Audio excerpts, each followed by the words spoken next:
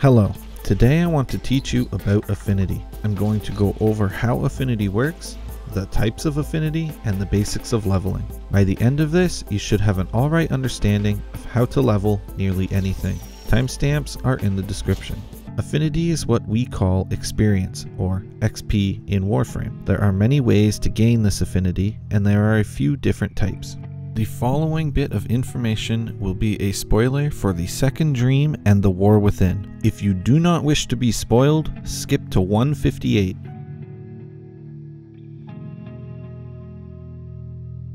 Focus is the affinity gain for your operator and it allows you to unlock ways in your school of choice.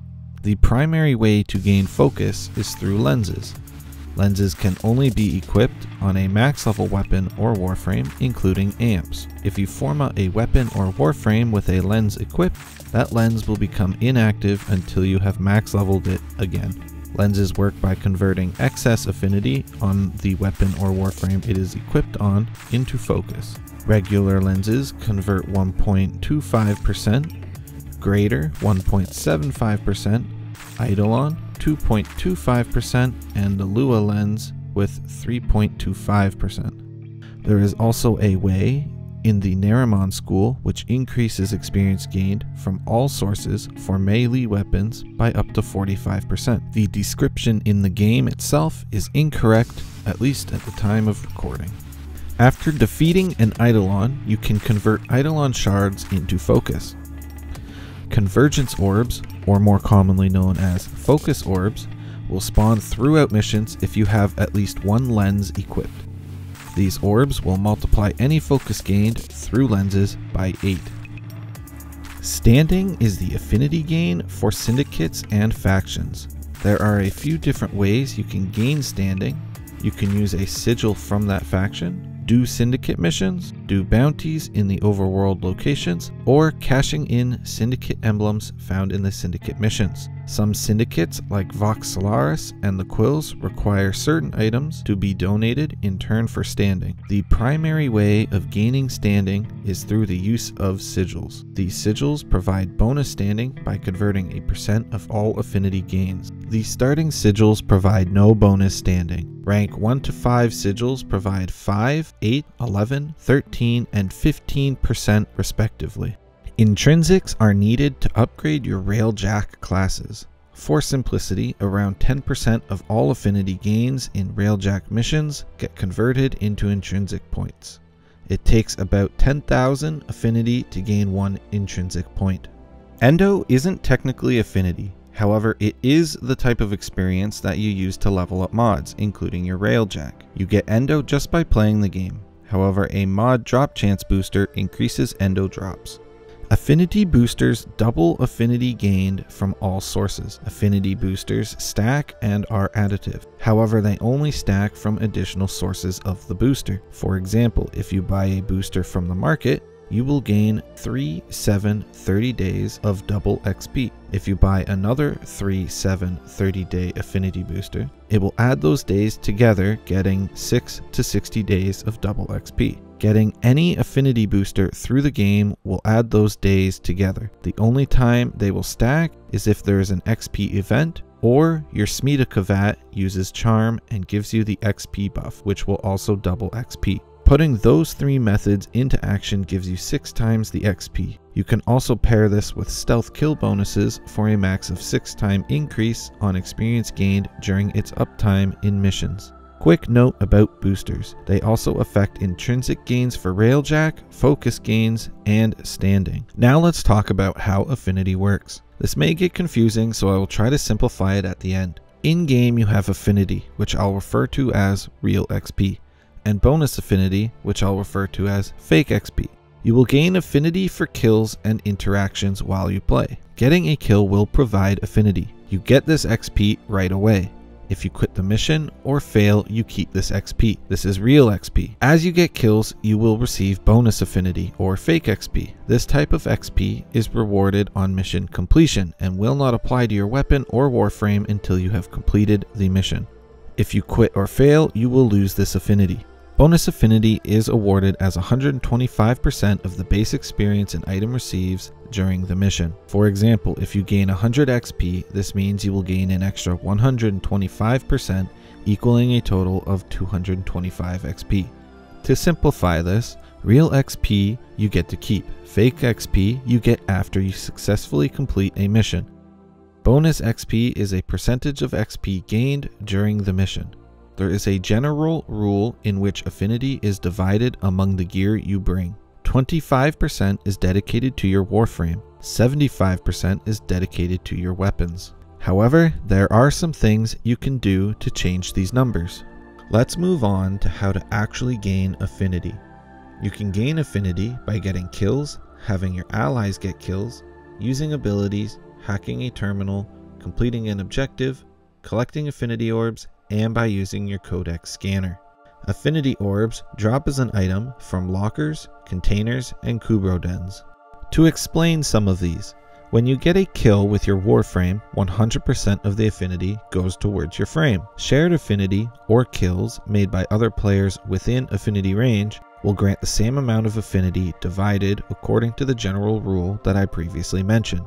Affinity range is this buff icon. It represents you being within range of another player to receive affinity from their kills. This affinity range is 50 meters in a regular mission and has some other uses that aren't important to this video, but it's still useful to know that there are other uses. If you see this buff icon, this means somebody has used an item to increase affinity range.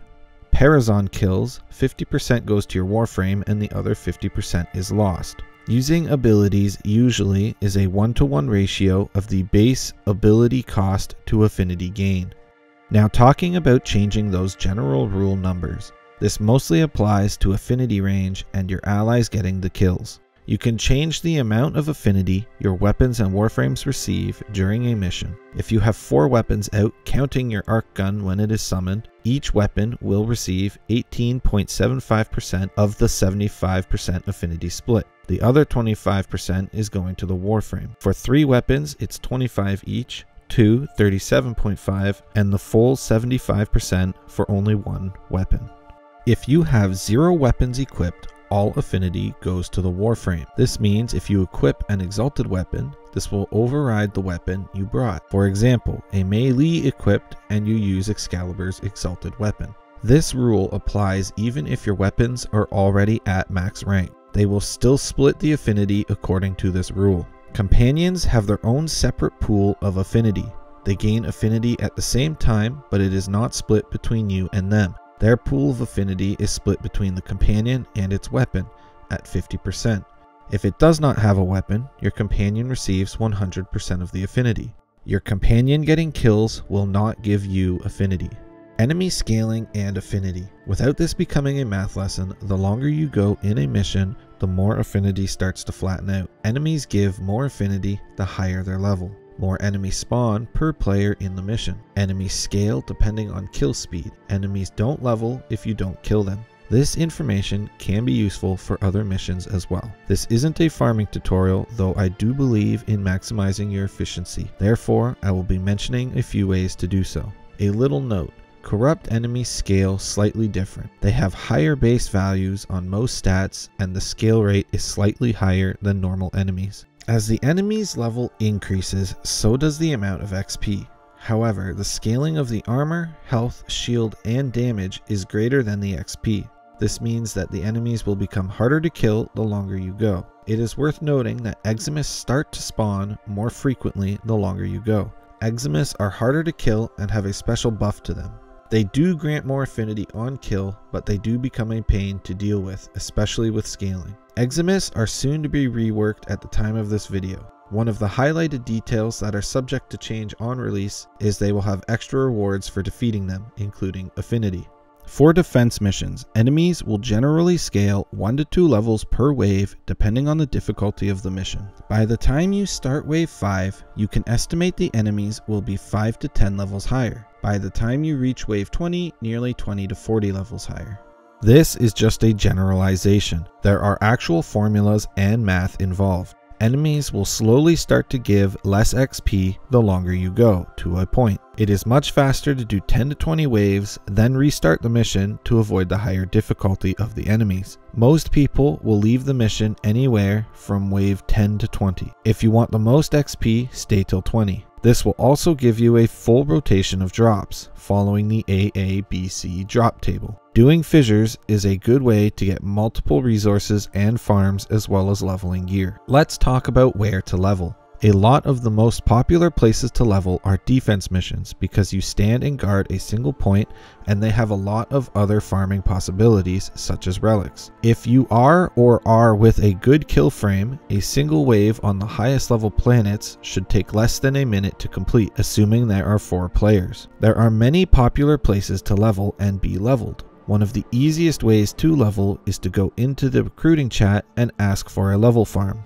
There is always a few people doing leveling. If not, you could go into a resource farm as it is a win-win. Sometimes you will see people doing 20 minute survivals, 30 minute plastid farms, or some other form of farm. These are a lot more efficient for your time as a player. Even if you don't need the resource now, it never hurts to get more, and you will be receiving affinity while you farm. Something to keep in mind is resource farms can be a hardcore or a pretty chill setting. The more hardcore farms will want specific frames and or builds to be used for maximum efficiency. In chill farms, you can usually do whatever. Depending on your MR or mastery rank and how far you progress into the game, you will gain access to more places on the star chart. One of the first places you have access to is Lith on Earth. If there are no squads available, lots of higher MR players will have no problem going for 20 waves. All you have to do is ask. The next place you should go is Io on Jupiter. This is one of the best places to farm the resource Oxium in the game, and you are very likely to find a squad there.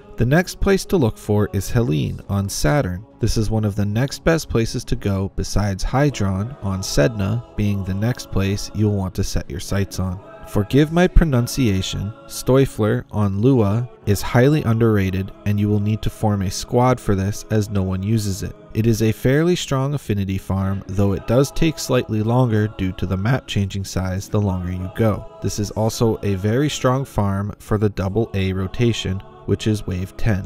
When you get access to Sanctuary Onslaught after the new Strange quest, this is probably one of the most efficient and fast ways to level anything. There is usually some kill frames doing this all the time. However, you can always go to recruiting if you need one.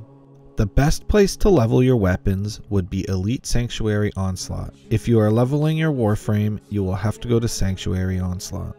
There are some other methods to leveling even faster but are intended for more seasoned players. I have already made a video relating to this. If you want to see that video, I will link it in the description. Extra information. Exalted weapons are special weapons that only certain warframes have. These weapons are unique, they are stronger, utilize mods from the weapon and warframe itself, and do not use ammo but use energy instead. What is also interesting is they replace the weapon in that equipment slot. Therefore, you can technically have zero weapons equipped, allowing 100% of all affinity to go to your warframe. This includes ally kills. Exalted weapons gain the same amount of affinity as warframes, so 100% of the affinity goes towards your warframe because the exalted weapons count as ability kills. Exalted weapons gain affinity at the same pace as your frame, but they will level quicker due to needing less XP than a Warframe. It is worth noting that exalted weapons are an ability. For example, if you take Mesa, which has an exalted secondary weapon, into a melee only sortie, you can still use her exalted pistols. To summarize all the information and include some tips for leveling, the too long didn't watch portion of the video, it is better to maximize your leveling potential. This means trying to get two birds with one stone and not leveling solo. If you are leveling a warframe and are not a kill frame, mod your warframe to spam as much as possible. Even if it doesn't get kills, you will still receive XP for casting. Level one weapon at a time. If you are strictly leveling weapons, you can get a level 30 weapon in one wave of Elite Sanctuary Onslaught with a good kill frame and a booster. If you are not leveling one weapon at a time, remember to remove or swap any weapons that are already max leveled. When leveling weapons, spray and pray. Kills equal affinity. You may end up getting in a kill or two regardless of how good the kill frame is. Try to level with a friend or someone who is able to kill lots very quickly. This will speed up the process greatly because bonus experience is bigger than regular experience. Use boosters and a Kavat whenever you can to save time. If you want to focus farm efficiently, remember you gain the same amount of affinity as the person killing. If you get a focus orb, spam your abilities. This will be converted into focus. The best place to gain affinity is Sanctuary Onslaught or Elite Sanctuary Onslaught. People are always willing to farm, don't be afraid to ask. There is one important thing to remember when farming focus. Try not to farm focus with gear that does not have a lens on it, as the general rule will still apply even if there is no lens resulting in a loss of affinity. However, you can stack lenses on multiple pieces of equipment for more focus in a single school. When leveling focus, it is best to put your lens or first lens on something that does the most killing. For myself personally, I would rather take the deficit in affinity to farm for other things as well. You can get plenty of relics for a slight decrease in affinity if you do excavations or even better, fissure excavation. There are plenty of ways to level and many different ways to farm. Pick what best suits you and decide what you want out of your farm. It is your time and you should be able to use it however you want. Thank you for watching and I hope this video has helped you.